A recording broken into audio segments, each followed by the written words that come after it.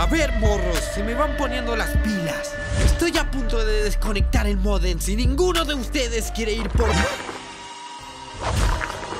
¡No! ¡Suéltenme, perros! ¡No pueden hacerme esto! ¡Ah!